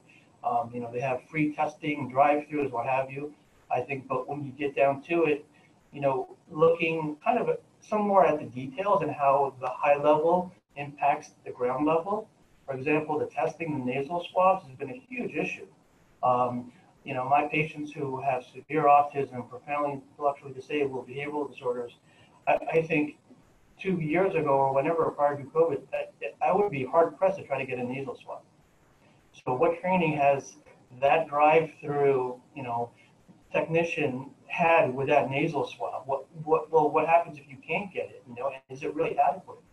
Uh, you know, I, I struggle with that all the time, looking for information. Like I get it, everyone's got to be trained and, and understand and have you. But at the end of the day, that individual needs to have that nasal swab. What are we going to do? You know, now that we're talking about vaccines, you know, my concern is, you know, I'm fortunate. I work in a health center. I work at the Rose. Kennedy Center. I'm surrounded by people that are caring, passionate, empathetic. So if we can't get a nasal swab, we'll try to desensitize. We'll, we'll calm them down. We'll have we'll give them lunch. We know how to take care of the individuals. I'm not worried about my individual. I'm worried about those individuals that see Dr. Smith down the road or, or, or, or Dr. Jones over here who may not have the patients or the time that, you know what, they're not going to get the nasal swab. I'll just let it go. Now we talk about vaccines. I, I have a number of patients that are scared to death of the flu vaccine. They don't like needles. They don't like bloods drawn, nothing. So on our end, we will do everything we can to de-escalate, desensitize, what have you. Um, I know that that's my comfort level. I'm just worried about everybody else. You know, the vaccines are going to come out, be it Moderna Pfizer. That's great, wonderful. The importance of it. Who's going to train the actual phlebotomists, the physicians, to understand that somebody with autism is going to be scared to death of needles. What do you do at that point? So, you know, I am being a little bit more detailed. I mean, not so much high, high in the sky, but I think when we talk about education and systems and trainings, it has to go from top to bottom and really drill down um, to that one-on-one relationship on who's going to be giving the vaccines. At the end of the day, you know, if that doctor, or that nurse can't give that vaccine to that individual uh, with Down syndrome or autism, with maybe a, a co-occurring condition of, of anxiety or bipolar disorder, you know, that that individual has lost. So I, I think, you know, what do I want to change is, is um, again, proactive engagement, getting communities involved with our population and collaborating across congregate settings. And whatever we do at a very high level, make sure that at the ground level, boots on the ground, it really makes a difference. Um, you know, um, so that's one thing. Um, how are you creative in problem solving and addressing challenges? I think from an administrative standpoint, what was pretty impressive about our staff all over was how everybody stepped up. Um, you always hear it takes a village to do this, to do that, but it was amazing to me how many staff that were maybe in positions of maybe a, a front desk staff answering the phones or, or or register or nursing, what have you. Um, but they had these amazing IT skills. They had these amazing teaching abilities. So we had people that were maybe, for example, in a call center in a cubicle, um, taking phone calls eight hours a day. Um, but they were just so incredibly IT savvy, and they could train doctors on how to use um, telehealth. So I think uh, Creative Problems, we actually shifted some of the responsibilities with our staff in terms of what their expertise and comfort levels were and utilize them as best we can, especially in that uh, emergent uh, situation. When COVID hit us, it took us probably about a week to actually turn over and start providing our first telehealth service. And right now, I can tell you right now, if it wasn't for some of these uh, kind of back, not backroom, but you know, staff that are more in the cubicles, if they didn't step up, I would never have figured out how to use Zoom, how to link, nothing. So, so you know, I think that's how we're able to be creative and, and step up. And also, um, we show we were able to see the leadership in those people. So I think that was really impressive. Um, another thing that we also had to do, um, especially with the DD coalitions, you know, unfortunately, a lot of these DD agencies don't have medical directors, chief medical officers. Um, they have nurses that are spread out so thin that are well-meaning, um, uh, but these nurses are also looked at to be the be all end all, so they're overloaded. So what we did uh, during COVID was, um, for lack of a better term, we had uh, virtual town hall meetings. And we targeted those DD agencies that did not have a medical director, or maybe had a, uh, nursing director that was overwhelmed and, and just stressed out, and a little bit lost. So we had these town hall meetings at the larger DD agencies throughout New York City, and it was more was myself and a couple of other nurses and, and support staff. And it was just an hour, hour and a half of uh, questions and answers, whatever we could, whatever we could glean from the CDC or DOH update at that point in time. We were able to kind of maybe filter it better so it wasn't so much information overload for this one poor nurse overseeing 10 different group homes in, in, in Brooklyn or in Staten Island. Um, so I think that's I think that's uh, kind of the gist of uh, what we did. So. Thank you. Thank you, Vincent. Appreciate that. Um, yeah, I, and I just want to encourage those of you who are attending in the audience, feel free to start using the chat to throw out your, your questions for the panelists. We're going to be getting there in just a minute. Um, just a couple of reflections from the hats that I wear and where I sit. In addition to being at AUCD, um, I also um, volunteering this year as the chair of the um, American Public Health Association's um, Public Health Education and Health Promotion section. And a couple of the priorities that I have are around making a um, making it a standard operating procedure to have accessible communication whenever we're sending out health education information um, and making sure that that's also culturally competent. Um, and I just wanted to mention that here as well, because I think it speaks to the issues of um, intersectionality that all of the panelists have brought up as well. I just think there's um, a identity challenge right now too um, among public health practitioners, uh, kind of feeling like, oh, well, this is the emergency manager's role. Am I really up to bat on this? And I and I tell my colleagues, you're up. You're up to bat. It's it's you definitely feel free to use your tools and wear all the hats you wear. Get good information out there in ways that are accessible for everybody in the whole community. Um, so I just wanted to share that. And that goes back to the points around being open to collaborate and think about connecting with folks that you maybe didn't connect with, but you always coulda, woulda, shoulda. Now's the time. So hold that up as well and think about that. And then the other piece that I just wanted to reflect on before we turn it over to general Q&A from the audience um, is this issue around self care, but more than self care, being resilient. And I, I feel like that's sort of getting to be like a cliche word nowadays. Oh, be resilient and bounce back. And this is this is hard work. And um, I just want to remind all of us here, because I know we all contribute in different ways, that um, it is good to take a break. It is good to honor yourself as a human being when you need to take a water break or just get outside, get some fresh air, get some sunlight. Those are good things. Take a few moments to do that throughout your day. Um, that is critical so that you are here to do your good work after COVID is over. It will be over at some point. Uh, but it, it's it's um, something you just need to do to take care of yourself and set those limits, set those boundaries, so that you can uh, be here for the next time. So, with that said, let me see what questions uh, the, the audience may have for us. Uh, feel free to either use the chat.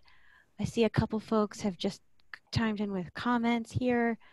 Um, and uh, if, if there's any questions, you know, this is your time now to ask of the, uh, the panelists and you can either use the chat box or you do have the ability to take yourself off mute. Use your power wisely. If, if you're in a busy, noisy place, you don't need to take yourself off mute. But if you would like to, you certainly can. And I see, let's see here. Um, looking at the chat, yeah, there's a quite a few folks who are saying that they liked the ideas that were shared around communication and that they may borrow some of them for other testing sites um, that they're facilitating. And also, um, Linda Starnes mentioned here thinking about the other supports um, folks might need for communication services like augmentative and assistive technology. Good point. Good point, Linda. Just checking out the chat, see if there's any other questions here. All right, and then Sue Fordham wrote in that she's worked with a lot of local public health and emergency management departments that don't get along. Ah, yes, this is local government conflict. Yes. Any suggestions for getting EM and PH together with each other? I think that has Scott and Aaron's names written all over it. Not to call you all out, but to call you all out. well, I can tell you that. Uh, so when I was with Dallas County Emergency Management, um, our our county uh, public health partners, there was a, a, rough patch there. And I think what the issue was is that they always thought that EM was infringing into their particular areas and thought we were getting out of our lane. Um, the way we were able to address that is, you know, through different trainings and exercises and letting them know that, you know, EM is, is not the lead in anything. We're, we're support, okay? Emergency management is support and coordination. And we were able to, to, to use those particular trainings and exercise to show them that, that hey no we're not here to take the lead or even tell you what to do you utilize us when you need some uh, particular re- support resources or some help getting some coordination from other parts of the government. Um, it took a little bit of time. I mean you know it's not just with county health and and county em or even local health or local em it could be with the fire department. Um, i can't tell you how many people think that when you do exercises that you know, basically EM's trying to show them up or show that they don't know have what, you know, basically what they're doing or they don't have a good plan. And we were able to address that because again, we just went with, hey, your success is our success. Your failure is our failure. And again, uh, we're here to support you. You tell us what you need. Uh, and you know, after it took six months, but after about six months, I don't think you know we weren't going out and having drinks together, but uh, there was a healthy work relationship and kind of uh, talk about off of what Scott just said, man, I, I wish you were uh, running our EM. I think, yeah, there, there's always been this conflict. It's not just you know public health and emergency management. It's there's relationship conflicts with almost any department, and even in your own department that that you're going to hit. And I think building those relationships before any sort of emergency is huge. All the people that we had great relationships with through exercises or developing different uh, criteria and plans throughout the years, those are the ones that are really coming through for us, honestly, because we've already worked with them. They know how we work. They, they, we don't have any issues going on. So that's that's always been like a good relationship thing.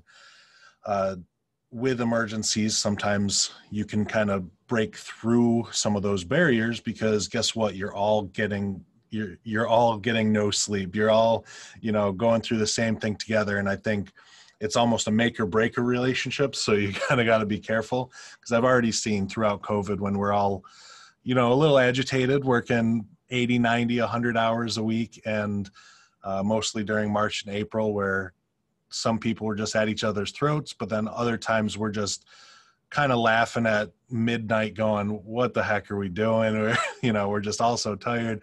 And you start to create bonds that that would have never been there if it wasn't for this emergency. As far as you know emergency management we're lucky to have a few good relationships there. Uh, but as scott was saying like them supporting us, that that's definitely the main role. They're, EMs are not really supposed to just take control of everything and run the whole operation, whereas you know people are definitely kind of afraid of that. In this situation, I think some of us would be like, please, please run something. You know, uh, our our emergency management was a little bit more on the side of it's the public public health crisis, so let them handle it they're the it wasn't just the you're the lead but uh, you're the lead and we're not in it at all and that's that's not helpful either so we've we've been trying to work with them a lot and they have started to step up and in certain areas. I think a lot of it was they don't understand how much we're doing. They, if we're not talking with them, if we're not uh, really showing them how how busy our lives are and what we really need and where we're failing, they they honestly they'll just end their day at four o'clock and you know go about their way because we don't actually share like an office or a building with them. So I think we've started to uh, just ask them to, hey, can you can you be a part of this? I just want you to come in on this meeting. And we didn't really need them on some of these meetings. It was more or less just to give them an awareness.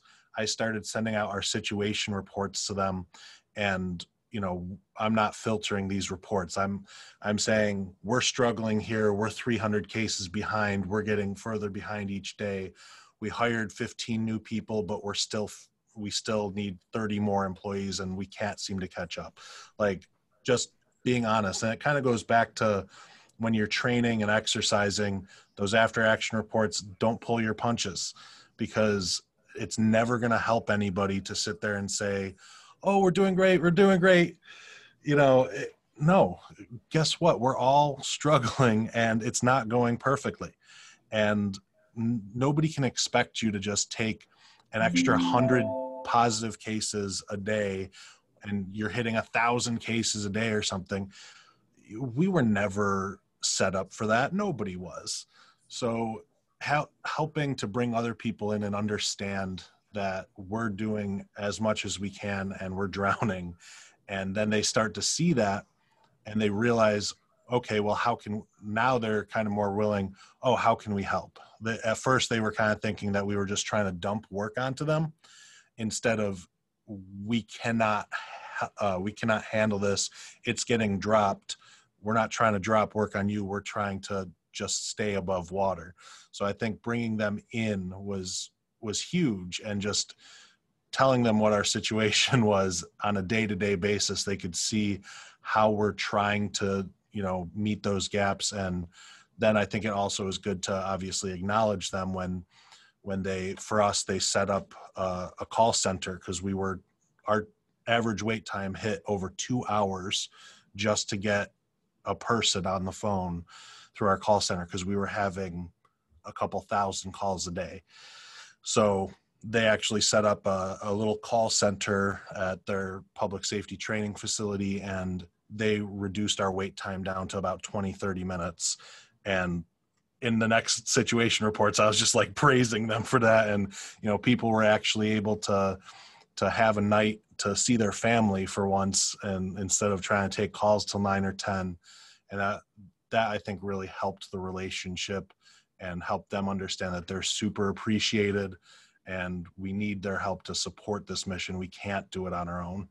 So uh, i think again kind of to that that point yes there's a lot of conflicts in in any department and i think just really trying to include them uh, give give them the no nonsense where we're at. We're not trying to dump work on you but we honestly just need your help. Can you help us out? We'll get your back if you get our back you know we're going to help you out as well if you ever need it so that, that's my my two cents on that subject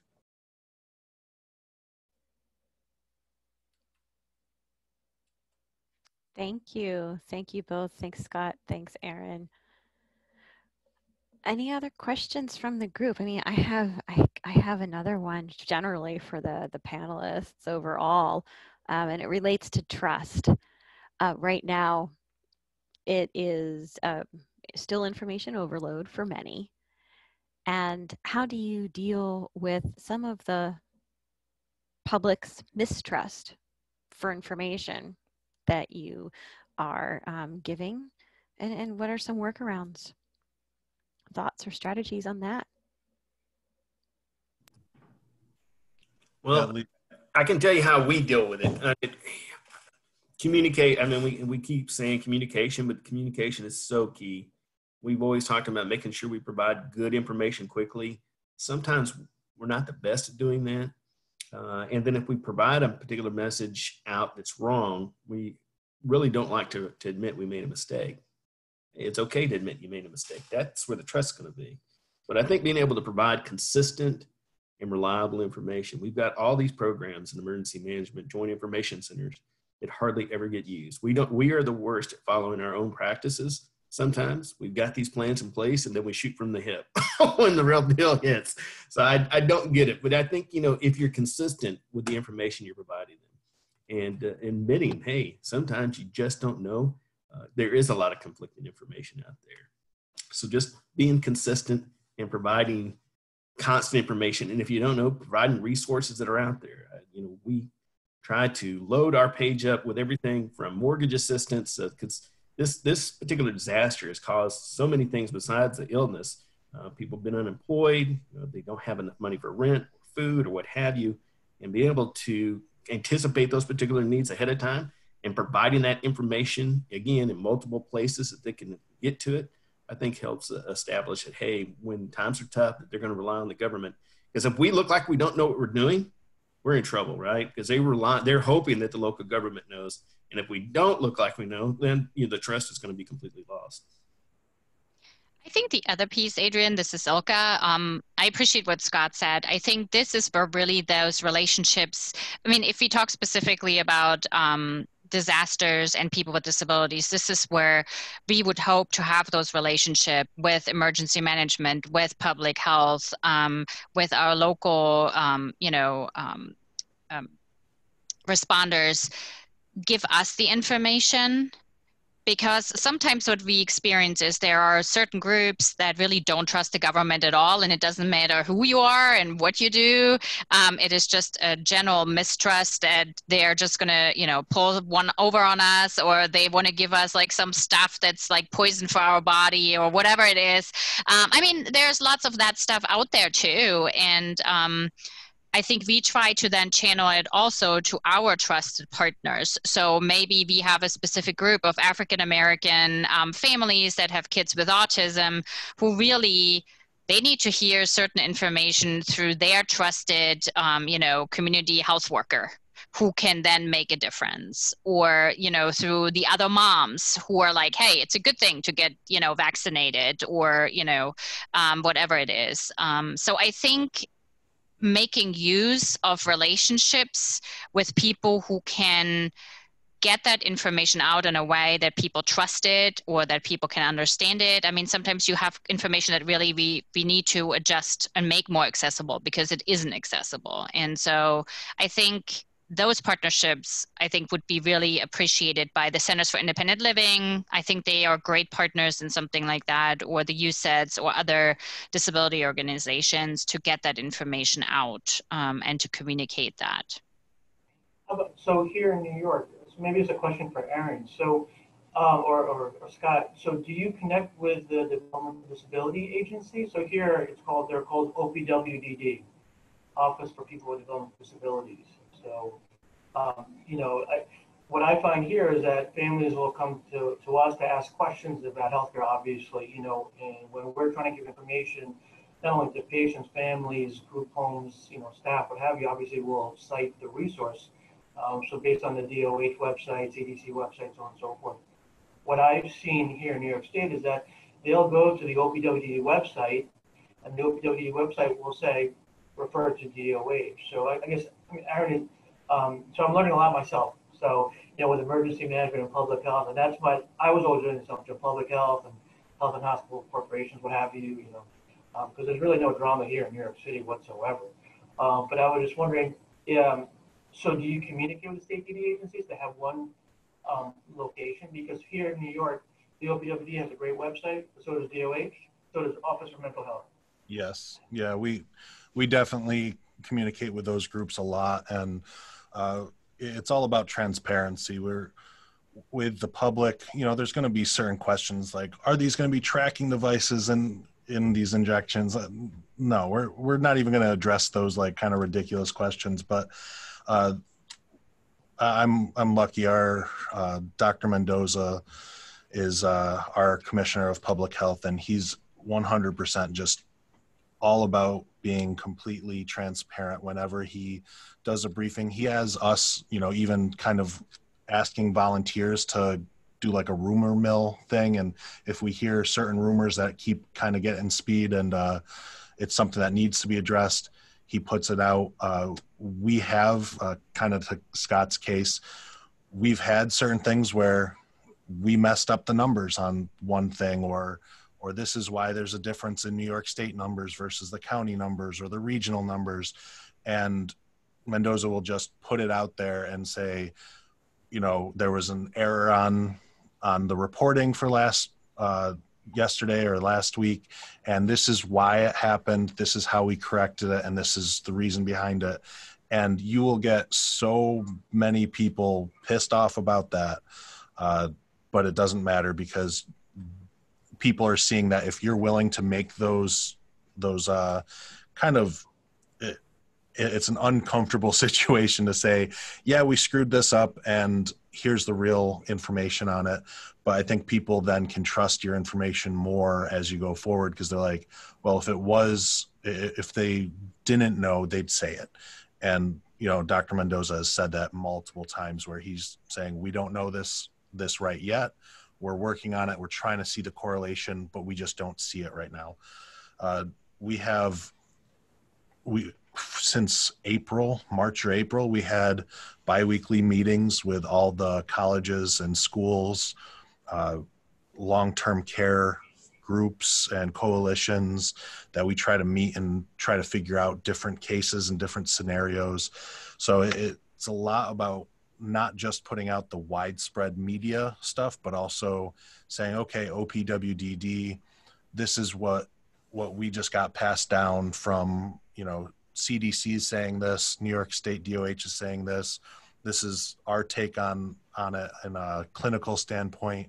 What are you guys facing? How can we help? What do you need from us? And we just keep those channels open. And sometimes the meeting might be quick and saying yep nothing's changed. Everybody's busy. Have a nice day. Uh, but then sometimes they bring up really important you know discussion topics and then we take it back to our team try to figure out what our stance is on it and what the clinic clinicians say and then go back to them and it's all about following through and following up. It's a lot. And uh, like i said before our our hotline had over a two hour wait at one point. But that's also because we weren't dropping calls. We weren't sitting there going okay well these ones are really ridiculous questions and we're not going to answer them. Everyone will eventually get a call back.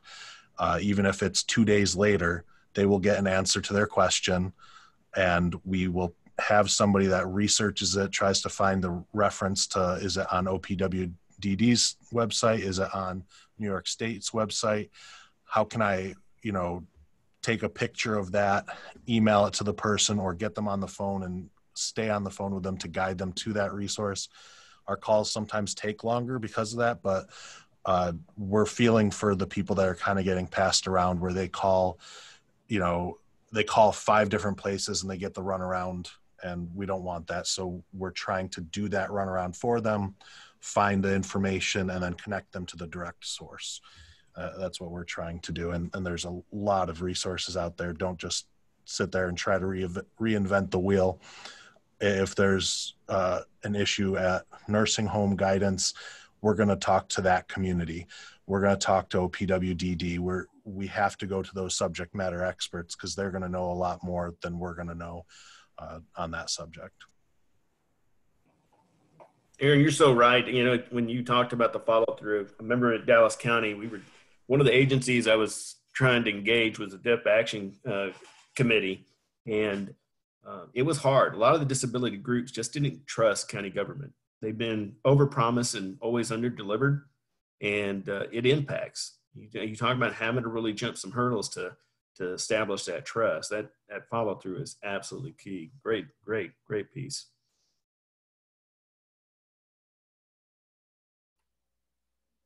Yeah, thank you for that. Oh, Aaron, did you want to add anything else?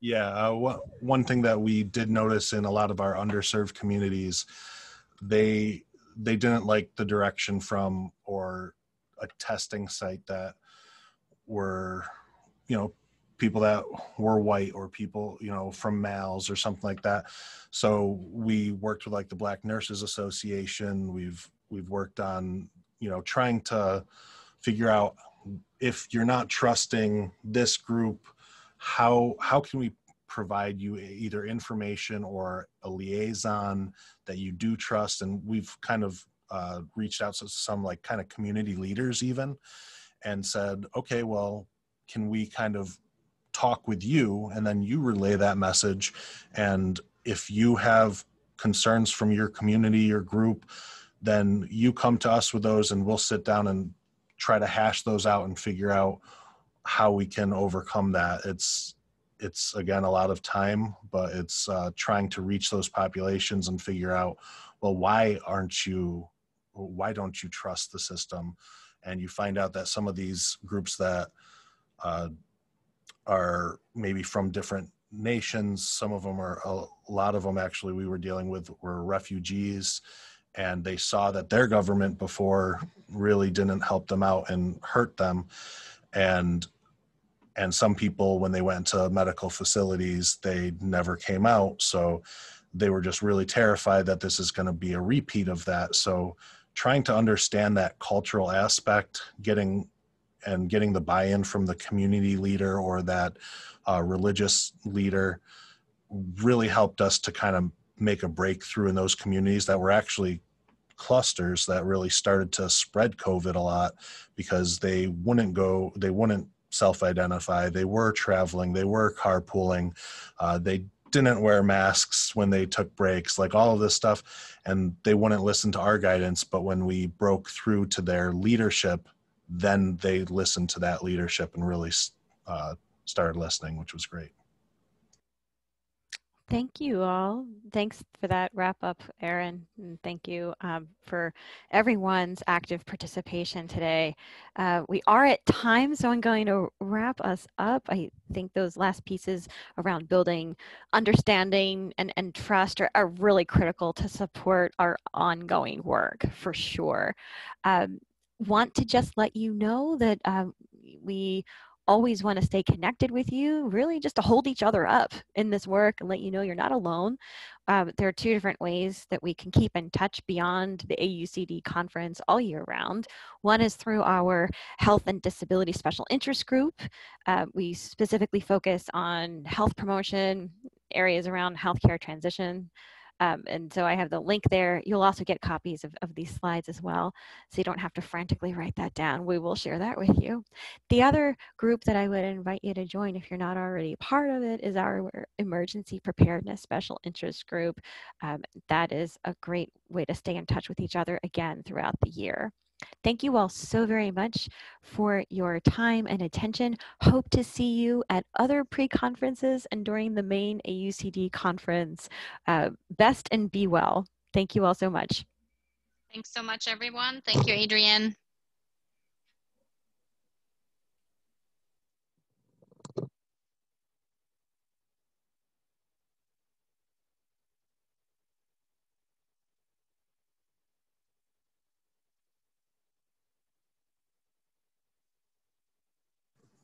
Thank you all and thank you to our panelists.